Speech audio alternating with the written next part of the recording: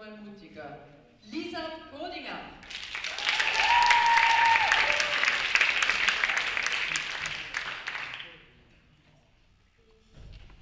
Ich bin jetzt 18 in meinem Maturajahr und ab heute habe ich genau noch 10 Schultage vor mir.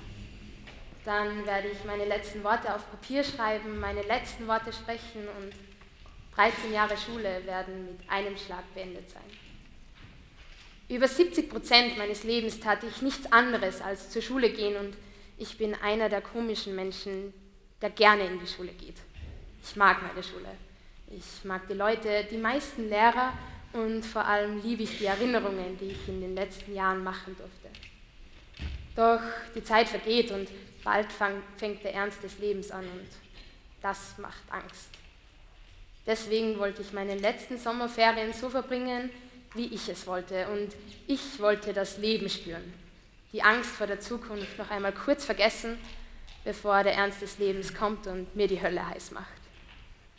Eine meiner besten Freundinnen, Sarah und ich, kauften uns ein Interrail-Ticket und fingen an, unsere Reise zu planen.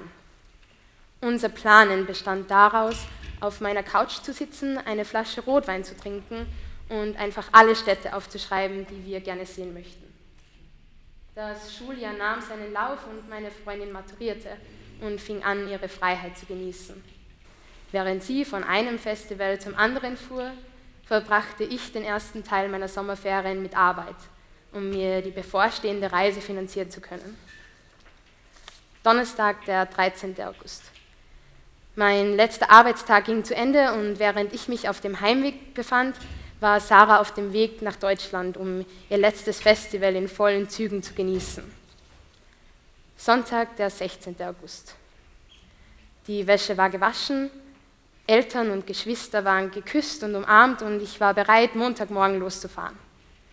Das einzige Problem war, ich hatte seit Tagen nichts von Sarah gehört und natürlich hatten wir weder eine Zeit noch einen Ort ausgemacht, wann und wo wir uns in Salzburg treffen würden. Es wurde Montag, der 17. August und um 1 Uhr früh bekam ich nach gefühlten 50 Anrufen und 100 SMS eine Nachricht von Sarah, die lautete, Herr Lies, bin jetzt wieder in Österreich, treffen wir uns um, einfach um Öfe beim Hauptbahnhof. Freue mich schon. SMS Ende. Unser erstes Ziel war Paris, die Stadt der Liebe, doch hilft einem die ganze Liebe nichts, wenn man kein Wort Französisch spricht. Unsere Sprachkenntnisse reichten von Bonjour, je m'appelle Lisa bis zu Voulez-vous coucher avec moi ce soir? Was nicht optimal ist, wenn man sich verlaufen hat und am liebsten zurück ins Hostel möchte. Als nächstes stand London auf unserer Liste. Wussten Sie, dass man heutzutage für so ziemlich alles eine Kreditkarte braucht, selbst um ein Hostelzimmer zu buchen? Wir nicht.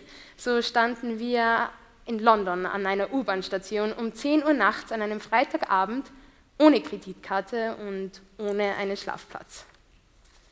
Von London aus ging es weiter nach Dublin. Dort wollten wir eigentlich vier Nächte verbringen, doch für das Wochenende war die komplette Stadt ausgebucht. Auf unserer Interrail-Karte war im Norden eine Stadt namens Berliner eingezeichnet. Als wir schon im Zug dorthin saßen, kamen wir ins Gespräch mit einer Einheimischen, die uns erklärte, dass Berliner nicht wie von uns geglaubt eine Stadt war, sondern ein kleines Kaff, in dem sich kein Hostel befindet und wahrscheinlich auch keine andere Schlafmöglichkeit in unserer Preisklasse. Unser nächstes Ziel war Amsterdam und wir waren schon 48 Stunden durchgehend unterwegs, als wir in Brüssel unseren Anschlusszug verpassten. Natürlich war es der letzte Zug und um 2 Uhr früh sperrte der Bahnhof zu und wir wurden vor die Tür gesetzt. Raten Sie, was die gefährlichste Stadt Europas ist. Brüssel. Als wir lebend in Amsterdam ankamen, hielten wir es für einen angemessenen Zeitpunkt, das Nachtleben zu erkunden, natürlich rein der Bildung wegen. Am nächsten Morgen bemerkten wir, dass Sarahs Geldtasche weg war, in der sich nicht nur unsere beiden Bankomatkarten befanden, sondern auch unser komplettes Bargeld. Nach insgesamt einem Monat auf Reisen kamen wir heim und das komplett fertig. Unseren ständigen Begleiter, das Regenwetter, hatten wir endlich abgehängt.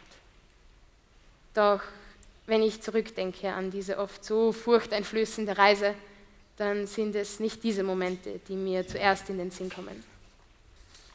Zuerst erinnere ich mich an den Taxifahrer, der uns nach stundenlangem Herumirren in Paris zu unserem Hostel fuhr und das ohne dafür Geld zu verlangen, weil wir ihm leid taten und er meinte, dass man junge Menschen, die reisen, dabei unterstützen müsse. Ich erinnere mich an den Rezeptionisten in London, der uns seine eigene Kreditkarte lieh, damit wir ein Zimmer buchen konnten und nicht länger um einen Schlafplatz zittern mussten. Ich erinnere mich an die Dame, wegen der wir nicht in Berliner ausstiegen, sondern erst in Westport, wo sich ein Hostel befand und wir eine der schönsten Nächte verbrachten in einem alten irischen Pub mit Live-Musik und uns bis in die Morgenstunden mit Einheimischen unterhielten. Ich erinnere mich an den Moment in Amsterdam, in dem Sarah ihre Geldtasche fand und alle Ängste, heimzufahren, sich in Rauch auflösten. Und ich erinnere mich an uns, als wir uns am Boden in den Armen lagen und nicht wussten, ob wir weinen oder lachen sollen und sich mein Herz auf einmal so leicht anfühlte wie noch nie zuvor. Ich erinnere mich an den Moment, in dem wir beschlossen, unsere Reise einfach zu verlängern und nach Italien zu fahren, um endlich etwas Sonne auf unserer Haut zu spüren. Und ich erinnere mich an unseren letzten Abend in Rimini, an dem wir unsere Füße in den warmen Sand steckten, eine Flasche Rotwein tranken und bemerkten, dass wir unsere Reise so beendet hatten, wie wir sie begonnen haben, nur um so viel reicher. Robert Harris sagte, To be brave by definition, one has first to be afraid. Deshalb möchte ich mutiger werden, meinen Ängsten ins Auge zu sehen und mich ihnen zu stellen. Denn am Ende sind es diese Momente, in denen du dein Herz schlagen hörst und bei denen dir ein kalter Schauer über den Rücken läuft. Es sind die Momente, in denen du spürst, wie dein Blut durch deine Venen pumpt und die dir die Luft zum Atmen nehmen. Es sind die Erinnerungen, bei denen du Gänsehaut bekommst und von denen du nicht sprechen kannst, ohne dabei zu grinsen. Es sind die Erlebnisse, die dich zu dem machen, was du bist und die Geschichten, die du deinen Enkelkindern erzählen möchtest, wenn du alt bist.